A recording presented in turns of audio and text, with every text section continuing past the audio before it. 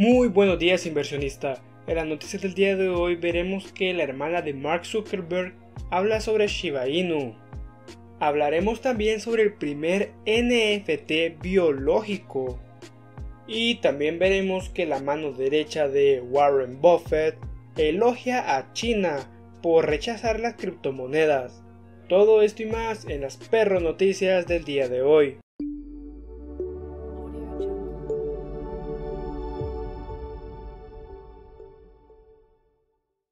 Hola y sean bienvenidos a Dodge Finance. Hoy veremos las perro noticias del 4 de diciembre de 2021. Antes de comenzar, les recuerdo que existen varios estafadores en los comentarios. Les pido que los ignoren y los reporten. Comenzamos hablando sobre Shiba Inu, ya que se ha convertido en la corriente principal, según la hermana de Mark Zuckerberg. Randy Zuckerberg, hermana del CEO de Meta o también conocido como el creador de Facebook, Mark Zuckerberg, ha grabado una breve explicación sobre las monedas de memes caninos que se ha publicado en su canal oficial de YouTube. En dicho video intervino en la sorprendente éxito del Dogecoin Killer Shiba Inu, afirmando que el token se ha generalizado. A pesar de la rivalidad entre Dogecoin y Shiba Inu, Zuckerberg cree que hay espacio para estas dos monedas caninas, ya que vimos que las dos monedas lograron estar en el top una al lado de la otra, algo que muchas personas no pensaron que llegase a pasar, ya que dichas capitalizaciones de mercado eran altamente elevadas. Miremos también que la comunidad de Shiba Inu quemó alrededor de 2 mil millones de Shiba Inus en noviembre. Según Shipburn, la comunidad Shiba, apodada el ejército Shiba Army, quemó alrededor de 2 mil millones de Shiba Inu en noviembre. Shiba Inu, ante dicha quema de tokens y ante el reciente anuncio de que se integrará hacia el metaverso, es algo que impulsará fácilmente el precio a nuevos máximos históricos y podremos ver a Shiba Inu en un nuevo rally alcista. Siempre hablando de Shiba Inu, miremos que el desarrollador de Shiba Inu quiere demostrar que el verdadero lobo de Wall Street está equivocado.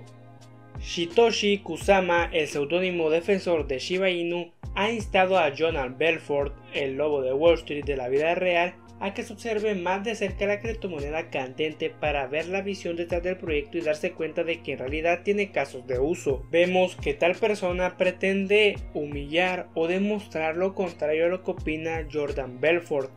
Esto sería bastante interesante de ver a futuro ya que esto demostraría que las meme coins logran tener utilidad en la vida real. Pasemos a ver que la ex pareja de Elon Musk, Grims, aceptará Dogecoin durante el próximo lanzamiento de merchandising. Grims, una cantante y compositora canadiense de 33 años, ha revelado en un tweet que su próxima entrega de mercadería aceptará Dogecoin como método de pago.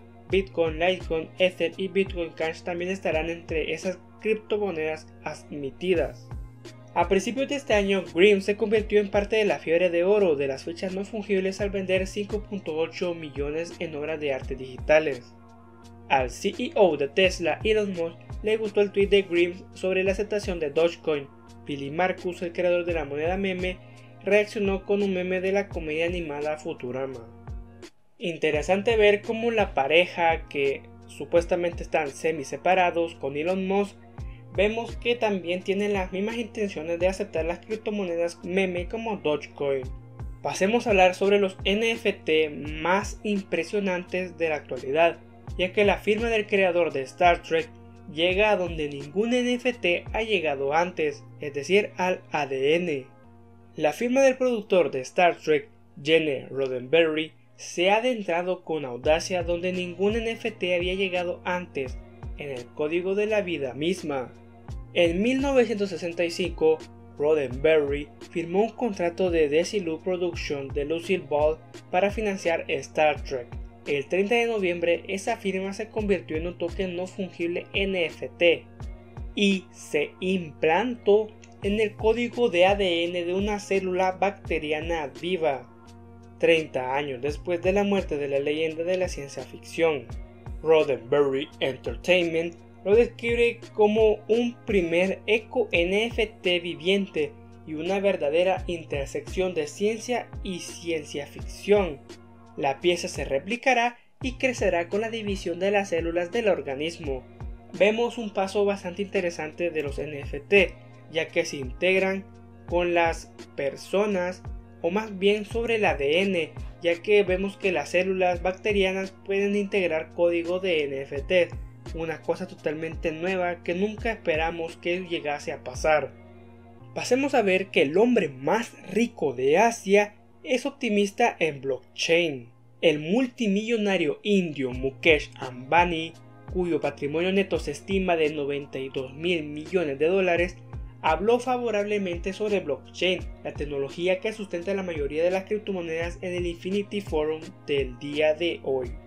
Ambani señaló que existe una diferencia significativa entre blockchain y criptografía, y agregó que el primero ofrece una gran cantidad de casos de usos prometedores, desde garantizar la transparencia de la cadena de suministro y permitir liquidaciones rápidas de transacciones hasta digitalizar el arte y garantizar la privacidad de los datos.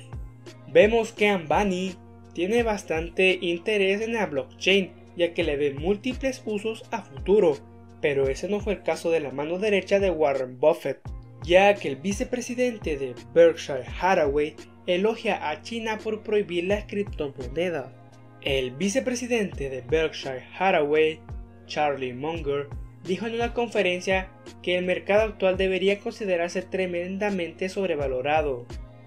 Munger también afirmó que el entorno financiero y del mercado actual en general es más loco que a principios de la década de 2000, cuando estalló la burbuja de los .com y los inversores enfrentaron pérdidas significativas.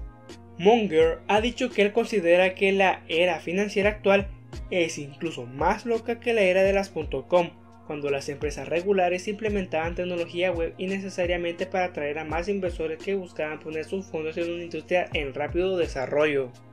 Munger también declaró que deseaba o desearía que las criptomonedas en general no existieran y también elogió al gobierno chino por prohibir el uso de criptoactivos o activos digitales refiriéndose a una represión masiva de la industria de criptomonedas en China en medio de años. ¿Estas opiniones tendrían que asustar? Bueno, en lo personal pienso que no.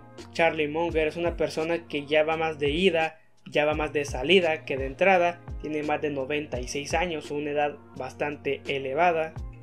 Y en lo personal no es una persona de la cual me tenga que preocupar. Ellos no comprenden muy bien la tecnología blockchain y de hecho Berkshire Hathaway no ha hecho muy buenas inversiones en los últimos años. De hecho, la mayoría de su crecimiento se debe a Apple, una inversión claramente fácil y que no requería mucha especulación a futuro. Se miraba el gran crecimiento desde sus inicios.